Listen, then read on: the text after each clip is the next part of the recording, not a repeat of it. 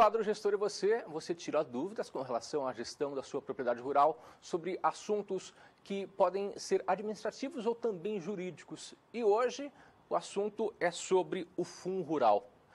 No dia 30 de março, quinta-feira, o Supremo Tribunal Federal, o STF, decidiu que é constitucional a cobrança do Fundo Rural, Fundo de Assistência ao Trabalhador Rural.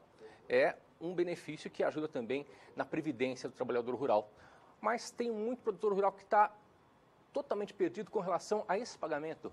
Teve gente que deixou de pagar em 2011, agora estamos em 2017. Como vai ser esse pagamento? Será que vai ser retroativo? Para tirar as suas dúvidas com relação ao Fundo Rural, estou aqui recebendo Pedro Putini Mendes, ele que é gestor da GER, Gestão Estratégica Rural. Pedro, bom dia. Bom dia, Antônio. O assunto é bem complexo, nós temos assim várias perguntas e o produtor rural que tem dúvidas com relação ao Fundo Rural quer participar, então pegue seu celular agora, nesse momento, e mande para a gente sua pergunta, sua mensagem, seu questionamento.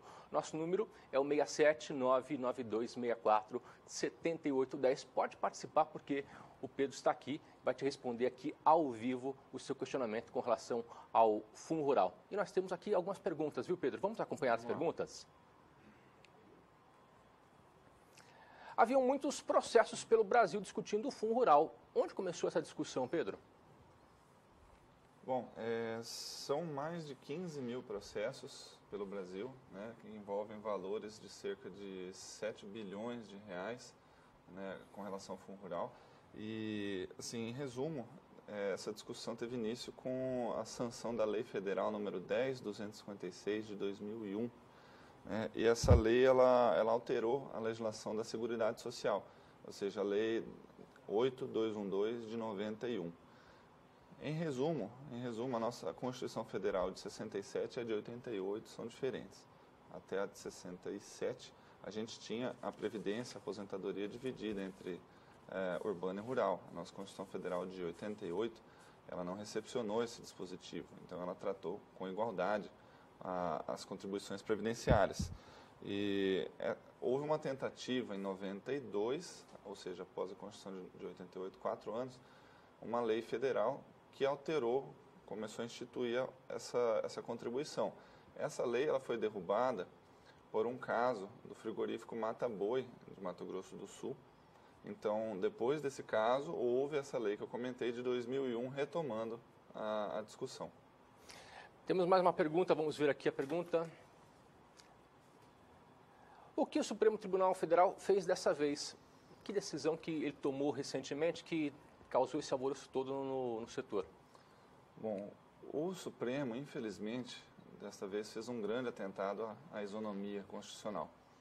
Né? Isso porque, como, como ele disse, o, a, os benefícios previdenciários não foram mais di, diferenciados entre urbano e rural. A nossa Constituição Federal de 88 não recepcionou esses dispositivos. O Fundo Rural é o nome dado a uma contribuição da antiga legislação. Então não haveria nem que, estar, nem que estar se discutindo essa questão no STF. O ministro Alexandre Moraes, na, no julgamento deste recurso 10, da, da Lei 10.256 de 2001, ele disse que esta legislação ela substituiu as legislações anteriores, então não haveria que se falar naquela inconstitucionalidade do caso frigorífico Mata Boi. Né? E o, o ministro Toffoli, por sua vez, também acompanhou o julgamento, o, a decisão do, do relator, Alexandre Moraes, e, e disse que o, o, o, STF, naqueles casos, também não declarou a inconstitucionalidade é, integral desses dispositivos. E o estranho é que, na, naquela oportunidade, houve uma maioria de votos, inclusive destes ministros que participaram desse julgamento, votando pela inconstitucionalidade. Então, agora a gente tem aí, além de uma, desse prejuízo causado com relação ao julgamento da constitucionalidade, a gente teve uma mudança de, de posicionamentos anteriores, né? O que era anticonstitucional agora é constitucional. O que era inconstitucional agora é constitucional, exatamente. Vamos acompanhar mais uma pergunta. Ainda há algum recurso a ser apresentado no processo? Será que tem como reverter esse processo? Bom, ainda há a apresentação agora por esses dias de um recurso que se chama embargos de declaração. Esse recurso ele vem para examinar alguns pontos não apreciados no julgamento e um deles que está sendo muito discutido e é, é, em alguns grupos e, e, algumas discussões é o, a questão da modulação de efeitos. Ou seja, qual que é o efeito que essa decisão vai produzir de agora em diante, de agora para trás, né? É, e há uma divergência se isso vai ser analisado ou não, porque o tipo de recurso apresentado desta vez, ele talvez, a, a, o controle de constitucionalidade exercido desta vez não é o, o controle é, difuso, que a gente chama, é o controle de constitucionalidade concentrado, é o tipo de recurso que foi apresentado agora. Enfim, ainda tem mais um, um recurso aí para definir essa questão da modulação de efeitos, se vai definir ou não vai definir a modulação de efeitos. E, e, essa, e isso que tem agora para decidir no STF. Nós temos mais perguntas aqui sobre o Fundo Rural, vamos acompanhar. Ainda tem processos no STF discutindo o mesmo assunto? Então, como eu disse, essa questão da modulação de efeitos, se por um acaso neste, nesta situação do, do, de, que analisa esta lei agora, ele não for decidir sobre a modulação de efeitos, existe um outro processo que pode é, definir essa modulação de efeitos, que é a ação direta de inconstitucionalidade, número 4395. Esta ação está, ainda não tem previsão de julgamento, mas está lá no STF para ser pautada com relação ao mesmo assunto. Então, essa, esse processo também pode decidir sobre os efeitos dessa questão do fundo rural. Pedro, tem como reverter essa situação ou você acha difícil?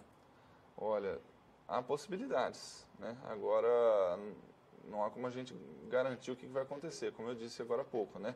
A gente tinha uma, uma lei antiga onde os mesmos ministros tinham decidido pela inconstitucionalidade, agora mudaram de opinião. Então, é complicado né, a gente tratar desse assunto com garantias. Né? Então, temos mais uma pergunta. Nós estamos lidando de um assunto que também é jurídico, né? E quais as situações de risco que a gestão jurídica identificou aos produtores?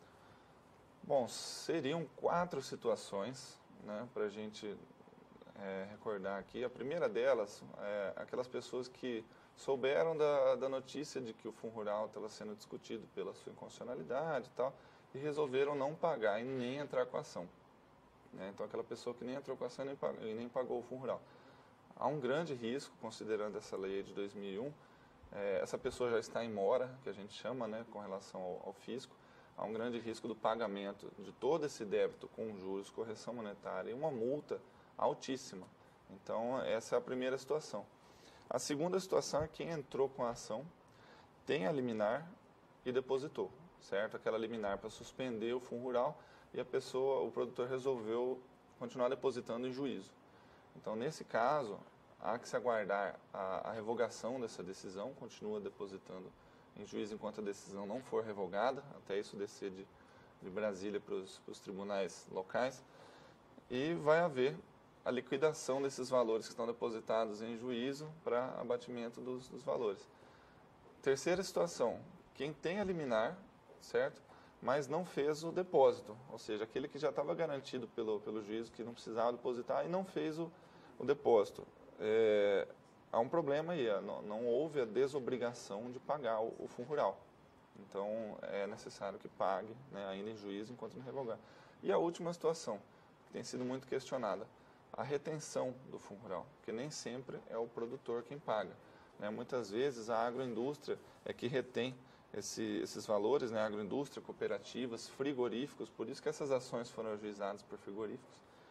É, nessa situação é importante lembrar que a legislação separa o, o contribuinte e o responsável né, pelo pagamento, de, é, sendo o contribuinte aquele que tem a relação pessoal e direta pelo pagamento do imposto.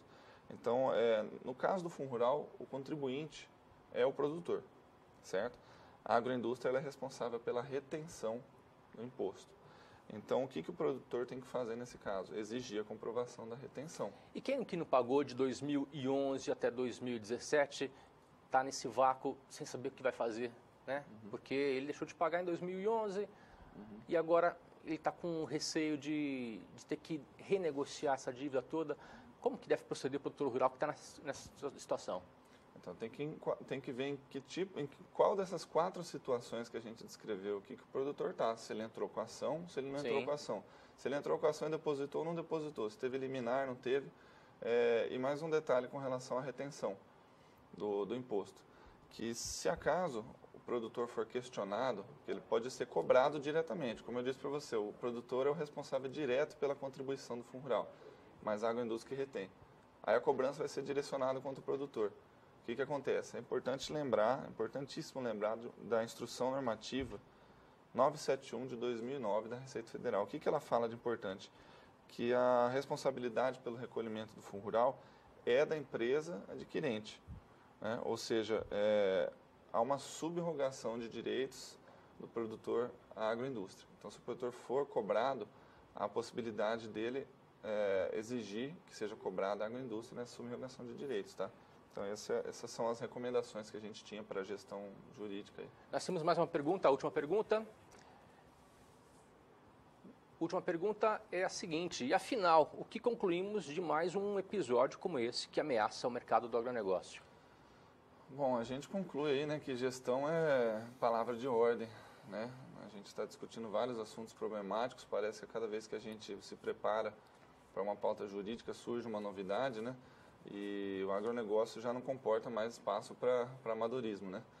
E essa é uma tentativa né, desastrada de corrigir erros na Previdência, essa pauta, essas alterações estão sendo feitas agora e pode afetar diretamente o mercado da, da, da pecuária ovina, por exemplo, a, a Scott Consultoria lançou um estudo aí de que é, pode haver um, uma oneração aí no setor da pecuária de 14 a 16 bilhões de reais, né, e no lucro final pode representar de 12 a 15%. Então, é, o que a gente conclui é que precisa ter um cuidado muito especial na gestão em todos esses aspectos, né, administrativo, produtivo e jurídico. Então é isso. E se você tem dúvidas, você pode procurar também os parceiros da GER, Gestão Estratégica Rural, ou pelo nosso WhatsApp, que é o 679-9264-7810, é esse número que você vê na tela, ou também através do e-mail da GER, né? Contato arroba gerconsultoria.com. É esse e-mail que você vê aí no seu vídeo. Então você pode participar também, tirando dúvidas com relação a esse assunto, também a outros assuntos. Na próxima segunda-feira, ele vai estar aqui de volta. Obrigado pela participação, Pedro. Um abraço, Antônio. Até mais.